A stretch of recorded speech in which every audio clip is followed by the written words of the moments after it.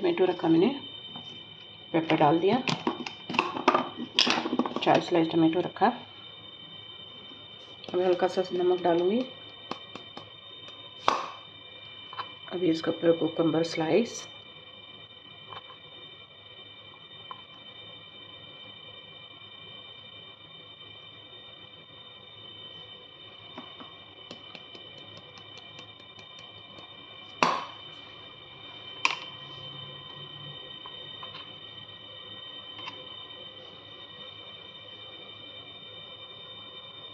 cheese slice.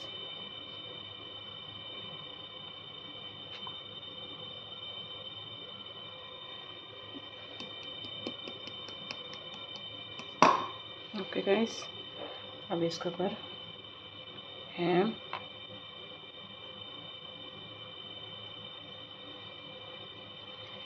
फिर इसके ऊपर मैं लेटेस्ट रख रही हूँ। इसको रखने से पहले थोड़ा सा म्यूनस डालूँगी। क्योंकि थोड़ी सी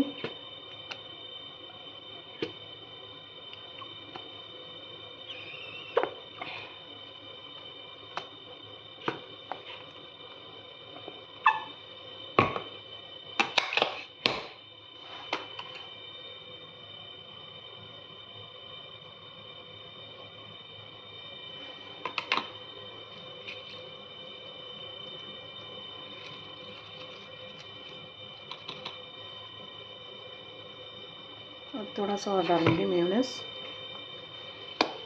लेटेस्ट रखा भी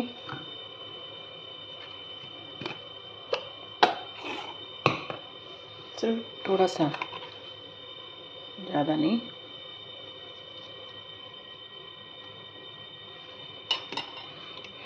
अभी ये पिकल रखती हूँ।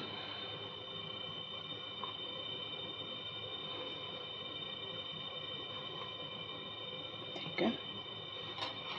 अभी दोबारा हैम स्लाइस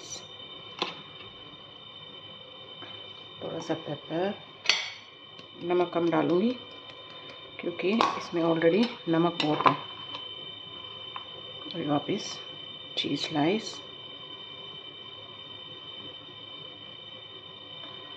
ओके गाइस अभी हल्का सा मेयोनेज़